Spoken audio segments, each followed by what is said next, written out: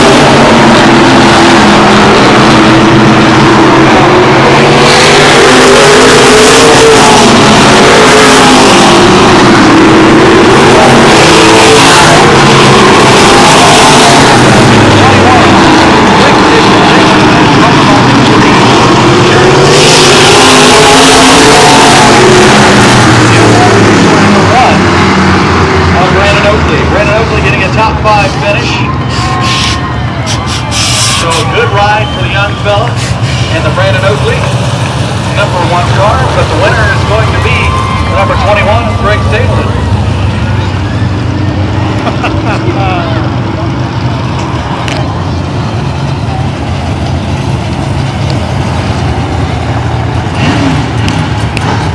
You could pick that time, huh?